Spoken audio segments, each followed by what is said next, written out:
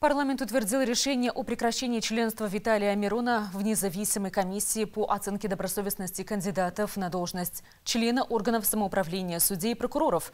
Напомним, член комиссии «Приветинг» Виталий Мирон подал заявление об отставке 6 октября 2023 года, назвав систему проверки судей и прокуроров правовым абсурдом. Об этом он написал на своей странице в Фейсбуке.